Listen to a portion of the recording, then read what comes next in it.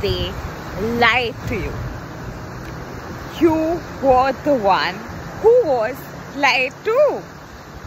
They hid secrets from you, they didn't tell you what it's all about, and they kept you locked in turmoils and crisis and wondering what your divine masculine is going through, feeling through, and they enraged your anger, they triggered you, and that's how the toxic cycle of separation has been perpetuating. The way out of separation, the way out of that disdain where things are not working out, things are not aligning in your favor, things are triggering you. Beneath all of that are thoughts and emotions that are common to every human being like literally for every kind of emotion there are like a series of thoughts that is common for every human being. Whenever a person is stressed they will feel like it's not working out for them they are feeling terrible they're feeling worried they're feeling wounded wounded like things will not work out for them the manifestation is not coming for them. And that's just is a pattern for everyone. So whenever you are in a happy momentum whenever you are like feeling good. You naturally feel like oh my divine masculine is coming towards me he's missing me he's thinking about me. And the moment you start to worry a little you start to get a little anxious start to get a little bit like is he coming is he not coming? That very moment they would tell you that your divine masculine is also going through this anxiousness. Your divine masculine is also very worried. Your divine masculine is now leaving the 3P. So whenever you are in that mood of crisis, wounding, suffering, stress, anxiety, immediately when you hear something like that where your divine masculine is now fighting with their mother, your divine masculine is now fighting with the 3P, you naturally get like moved and get into that momentum of that rage, like, yes, I get my power back. But, however, it was a game played literally again and again where wherever you were dwelling in in thought process, wherever your emotions were based on that, your thoughts were being played. Your divine masculine is literally you, and everyone is you pushed out. So, the moment you literally start giving yourself that sensation, that feeling that you would have when you have your manifestation, you start to attract the person. Whether it's your divine masculine, whether it's your SP, whether it's your ex, literally you name it and you can manifest that person and the key to literally manifest anyone is to literally go and give that feeling of what you want and give that mood to you so for example suppose having that relationship and finally being in that union will make you feel more secure more safe give that feeling of security, safety more to you. Every time you feel like it's not working out, I'm getting triggered. That very thought of it's not working out, I'm getting triggered is having a lot of anger stored. So you need to realize that wherever I have that anger stored, those molecules are bursting and now reverberating in the frequency of I have my manifestation. It's all working out for me. So every negative thought is a cluster of molecules that has to just dismantle, break and transmute, cancel, clear and delete and shift to the frequency of you have your manifestation. And it's not just speaking out your thoughts out loud. As I said, they lied to you. You were lied to. It's not just about speaking out thoughts again and again and spending hours to just chant affirmations. It's not about that. It's really about giving yourself more of what you would need. If you're really pissed with someone who left you for someone else, and you really want that revenge you really want that justice beneath that justice what is it there so give that justice to yourself and you receive that justice and you feel that justice what would you feel more of maybe you would feel more ease maybe you would feel more serendipity. Hold that frequency hold that state. And when you hold that state again your vibration will fall and you'll get into that state again of oh they're not here.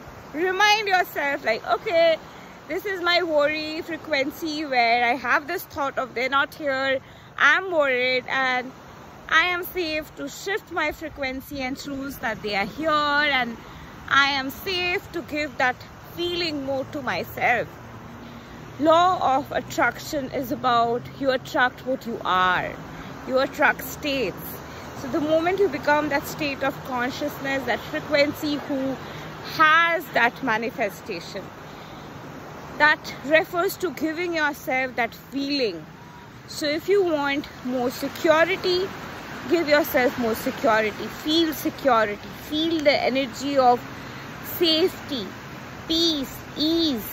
When you're feeling peace ease security again you might get into a downward spiral mode and get into worries of but it's not happening yet.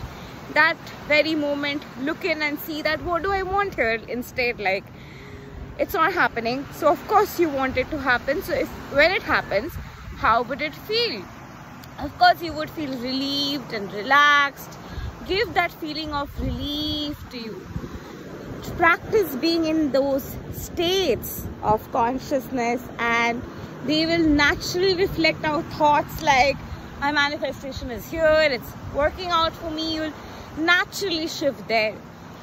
I'll give you an example. So you're really worried about something in your life and when you finally get that manifestation you would feel like finally i got it finally i received the justice that i had been looking for all my life. Finally i have received that momentum of justice.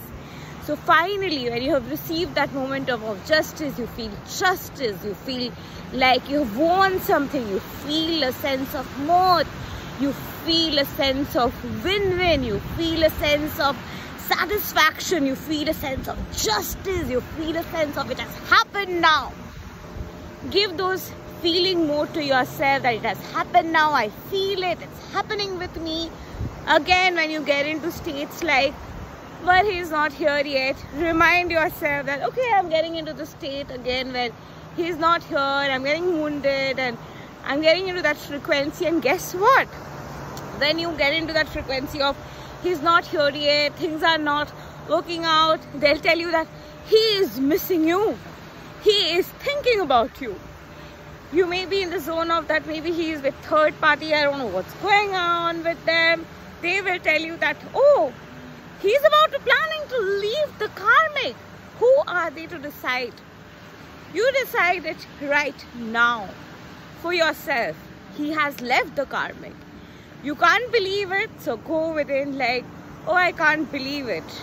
So wherever you can't believe it, of course you feel suffocated, angry and wounded. So what would I like to feel instead? Through them finally leaving each other, the 3P finally going away, what would I get? I would get justice, tranquility, satisfaction, serendipity. Give that satisfaction, tranquility and justice to yourself. And more you imbibe in that state and feeling, your thoughts will naturally reflect. Like the moment you're feeling relaxed and serendipity, naturally you start to vibe from, oh, it's always working out for me. It always works out. I am so blessed. I am so supported by god. It will naturally get reflected. And that's the magic of this work. All you have to get into is a state of how would it feel when you have it what would you get out of it and give that more to yourself it's not just about affirming 10,000 times, 20,000 times, doing no other work but just chanting, He's here, He's here, He's here, He's here. It's not about getting hyper about where is he now? What did he do today? What is he thinking today? Today how much did he move? Today what is the movement with third party? Today how far did he go? It is not about that. You have a life. The ascension journey, any journey, it's your life. Relationship is a part of your life. Any manifestation is a part of your life. Don't just let it get into you that you stop feeling happy and joyful because it's not happening yet. Any manifestation is all about living in the end, being there where you already have it. So when you have it, how would you feel? Of course, you would feel good, like you're satisfied, you're secured, you have it all, you're at home, you're at ease. You come back home, give that mood to yourself and make yourself feel good. When you give that feeling to yourself, like, hey, I'm giving myself security, I'm secure, I'm feeling secure, suddenly in that energy surge frequency, those thoughts will suddenly start coming in because you're getting into the frequency of serendipity. And serendipity has thoughts assigned to it. Like stress has thoughts, worry has thoughts like it'll not work out, things will not align, things will not fall in place, I'm here to suffer, three people will never go, this will go on, I have a karmic contract, I'm here to suffer, my story is exceptionally difficult. All of those are limiting beliefs associated to stress, worry and stress and worry is there because you don't have it. Ultimately what stress and worry wants is like you get what you want bro. Like i'm stressed and worried because i fucking want what i want. So when you give that to yourself you no longer stress and worried. Like duh common sense. So you naturally feel like i feel so good. I feel so serendipitous. I feel so calm. I feel so relaxed I feel so much of justice to have received it. I feel like finally I don't have to carry that wound. All the pain has been taken away, but I have finally received my manifestation. I feel so much of security. More you give that to yourself, thoughts like, oh, I'm always taken care of. Things always work out for me. I am so blessed. Those kind of thoughts will naturally reflect and start paving the path for you become the simulation the theme of the moment.